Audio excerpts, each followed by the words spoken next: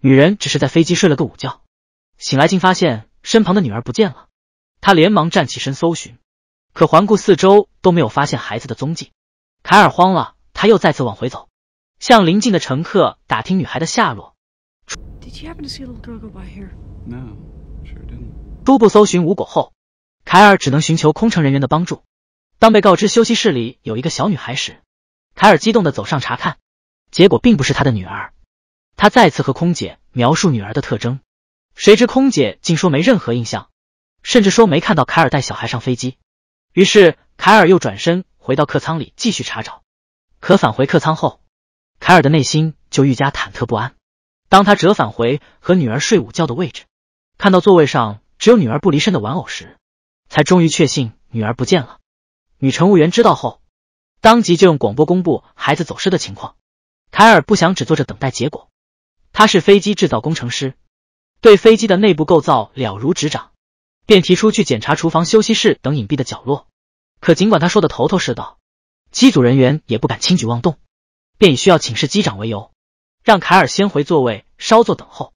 为了安抚凯尔的情绪，还特地安排其中一位空姐陪伴左右。然而过了许久都没能得到结果，加上女儿至今下落不明，凯尔也跟随愈加着急。然而，更让凯尔感到惊慌的是，坐在他周围的乘客居然都说没有看到他把小孩带上飞机。可他明明是带着孩子和已故丈夫的棺材一起上飞机。不久前，丈夫意外离世，凯尔特地请求殡仪馆的工作人员将丈夫的尸身打包好，装进棺材里，让他随女儿和凯尔一起乘坐飞机返回故乡。这也是女儿出生以来第一次出远门。为了给足女儿安全感。凯尔甚至提出把她抱在怀里出门。母女俩抵达机场后，凯尔就下意识的抬头查看航班信息。然而，当他缓过神回头看时，却发现身旁的女儿不见了。偌大的机场里人来人往，孩子要是被恶意带走，就很难再找回。凯尔竭力从密集的人群中冲出，终于看到女儿就站在在不远处零食店里。丢失女儿的恐惧让他直冲孩子开骂。You not to wander away from me in public places, huh? How many times? I was hungry. 年幼的女儿随后为害妈妈，担心道歉。凯尔的情绪也随之变得缓和，再而教导孩子要注意在外安全。虽然在工作上经常和飞机打交道，可这次的飞行却让凯尔很紧张，因为他不仅要照看顾好幼小的女儿，还得要确保丈夫的尸身能如期回到故乡。凯尔带着女儿坐上飞机后，一路都很是谨慎。他看到紧随他们而来的是一家四口，这家的小孩一路上都在吵闹，直到爸妈大声斥责才安静下来。而之后登机的乘客里，凯尔看见了一个似曾见面的胡子男。然而当他深入回想时，又被那一家四口的小孩吵架声干扰。最后是他对向后座的男乘客先找空姐投诉，客舱里才安静下来。凯尔不经意回望，感谢这个为民除灶的男人。飞机外的喷水除冰吸引了女儿站起观察，而随后运送丈夫的尸体，更是让女儿定睛看了许久。为了让孩子放轻松，凯尔带着女儿到最后排的空座位休息，却没想到一醒来孩子就不见了。眼看女儿失踪已有三个小时，尽管一旁的空姐一直安慰凯尔放轻松，内心对女儿的担忧还是让凯尔无法安宁。他又再次冲进乘务间询问情况，可空姐一见凯尔进来，竟直接上前阻拦。女乘务员更是刻意避开凯尔接听电话，在凯尔的逼问下，乘务员终于说出实情。Ma'am, we don't have any record of your daughter ever having been on board. 妈妈明明带着女儿坐上了飞机，机组人员却说并没有女儿的登机记录。为了证实女儿消失前一直在自己身边，凯尔想到了登机证，可无论是他的口袋里，还是携带的行李中，都没能找到女儿的登机证。种种迹象都在表明着，孩子似乎并没有上过飞机。凯尔开始怀疑女儿是被蓄意带走，于是他不顾乘务员的阻拦，径直冲向驾驶舱找寻求机长的帮助。走进驾驶舱就开始不停的拍门，然而还没等来机长，他就被身后一个自称空中警卫的人制止。凯尔被迫停止求救，回头一看才发现这位空中警卫正是坐在他对向后座的男乘客。在警卫的安抚下，凯尔的情绪才稍有缓和。机长听到动静后，很快也从驾驶舱出来。可一听乘务员说没有凯尔女儿的登机记录，就连孩子基本的登机证也没有，再加上随行的空姐也说对孩子没有印象，机长也不免认为凯尔并没有带女儿上飞机。Have you had anything to drink on this flight, Miss Pratt? Anything alcoholic at all? No. Are you under any medication right now? 当知道凯尔此前有服用过精神药物后，机长更倾向于相信带女儿上飞机不过是他的幻觉。凯尔无奈只能解释是因为丈夫的意外离世，自己情绪焦虑，不得已才服下的药。然而机长依旧对凯尔的说辞持怀疑态度。所幸凯尔曾供职于航空公司，通晓航班规则，要求机长务必遵照程序帮他找回女儿。机长最终还是答应他，要求机组人员尽力协助凯尔。继续寻找孩子，而为了避免凯尔再次冲动行事，警卫始终紧跟在他身后。就在凯尔循着客舱一路搜寻时，竟又看到了登机前觉得熟悉的胡子男。近距离的对视后，他才顿时想起胡子男昨晚就住在他家对面，还趁夜里站在靠近窗外偷看他的女儿。凯尔便认定是胡子男带走了孩子。胡子男坚称自己被冤枉了，昨天晚上不过是因为出差。才暂住在凯尔家隔壁的酒店，夜里只也是在看电影，并不是偷窥。为了摆脱偷走凯尔女儿的嫌疑，胡子男只能公布自己的私人消费单作为证明，还不忘调侃凯尔是在幻想。被激怒的凯尔随即就和胡子男产生了肢体冲突，所幸一旁的工作人员及时阻拦，才没有酿成伤害。眼看凯尔的情绪起伏大，甚至会冲动到动手打人，警卫也开始怀疑一切不过是他的假想。他开始不停复盘凯尔的怀疑，无论警卫如何询问，凯尔都没能给出明确的解释。然而，面对为什么专挑女儿绑走时，凯尔想到，因为他熟悉飞机的结构，飞机上极有可能有要挟持航班的坏人，他们需要利用女儿来威胁他帮做事。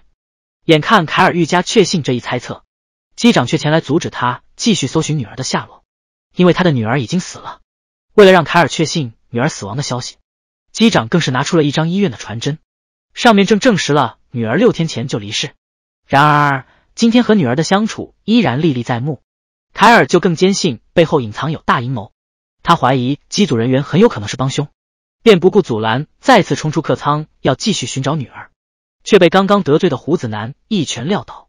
由于头部很撞击到座位上，凯尔当场就陷入昏迷。再次醒来后，他发现自己坐回了客舱的座位，身旁有监视他的警卫。还有一位自称是精神治疗师的女人，是机长特地请来帮助凯尔缓解内心压力的。飞机上所有人都说女儿已经离世，只有妈妈坚持相信女儿还好好活着。由于机组内没有显示孩子的登机记录，凯尔也没能提供孩子的登机证，而机长却收到凯尔女儿的死亡证明。当知道凯尔不久前丈夫也意外离世后，机长就更确信他是受刺激出现幻觉。为了兼顾飞机秩序稳定。他特地让乘客里的精神治疗师前去帮助凯尔舒缓内心的压力，在治疗师递进式的开导下，凯尔内心压抑的情绪彻底得到释放，负面情绪被排光后，凯尔也变得愈加清醒。她慢慢察觉到丈夫的意外离世很离奇，如今女儿也突然消失不见，这其中似乎隐藏有重大的阴谋。为了查明背后的真相，凯尔更坚定要继续寻找女儿。由于身旁还有不信任他的警卫监视着，凯尔便借口上厕所，摆脱了手铐的束缚。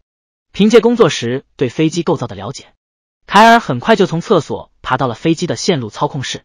面对复杂的线路，他丝毫不慌。一顿猛操作后，飞机的防护口罩突然弹出，乘客们以为是飞机遇险，纷纷枪戴口罩。凯尔随后再重接线路，客舱的灯光瞬间熄灭，客舱里一片混乱。吸引机组人员前来管控秩序。凯尔也趁无人注意时，走进先前还没来得及搜寻的货舱。可四处寻找后，也没有发现女儿的踪迹。当看到丈夫的棺材时，她怀疑女儿被坏人关在丈夫的棺材里，便激动的上前打开。然而里面却只有丈夫的尸体。凯尔最终非但没能找到女儿，还被警卫发现他的行动，最终被强行押回货舱。见肆意制造恐慌的凯尔被押走。受惊的乘客们都纷纷鼓掌称赞，他们一定想不到，眼前这个看似正义的警卫才是坏人。当确认凯尔乖乖坐在原位时，他吩咐乘务员加强监视，而他则私自走回凯尔刚刚去过的货舱。他先是到凯尔丈夫的棺材里拿走事先藏好的炸弹，再逐一安放在货舱里，而凯尔的女儿正是被他藏在客舱里。随后返回寻找机长，竟以凯尔的口吻向机长勒索五百万，否则就会引爆提前藏好在飞机上的炸弹。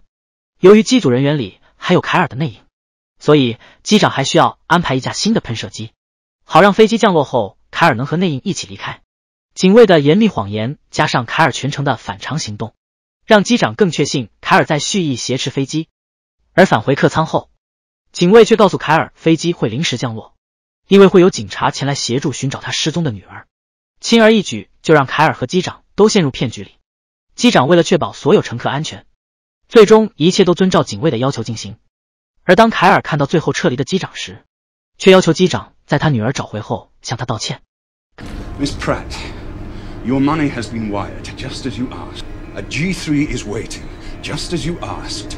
Perhaps we can do without the pretense of the missing child now. 凯尔听后一脸懵，直到看见警卫独自走下飞机，周围布置有重大罪犯才会出动的警力时，他才知道一切都是警卫的剧本。而他一定有同伙混在还未下飞机的机组人员里，于是凯尔命令他迅速返回飞机，否则就会公布他设计的阴谋。为了救出自己的同伙，警卫只能再次返回到飞机上。机组人员相继撤退后，警卫悄悄地关上了机舱门，想要暗自解决凯尔，却没想到凯尔会先从他背后偷袭。警卫被砸倒地，凯尔趁机拿走了他身上炸弹的引爆器。然而还没逼问出女儿的下落。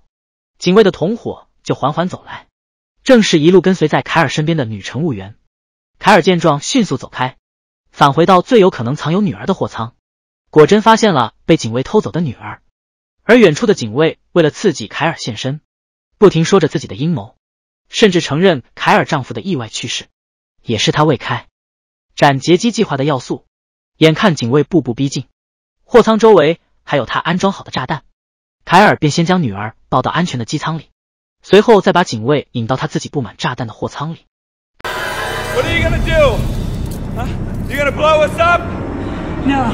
凯尔迅速关闭货舱门，随后果断按下引爆器，货舱的炸弹瞬间爆开，警卫最终没能得偿所愿，葬身火海。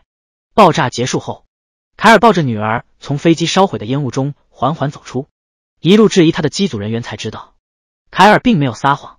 这个伟大的妈妈一路孤军奋战，智斗坏人，最终救回了女儿。